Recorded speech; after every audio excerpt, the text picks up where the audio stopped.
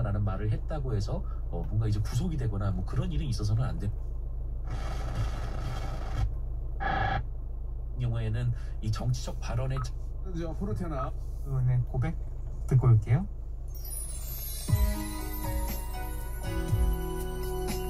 부분이 있는 거고 선 쌍둥이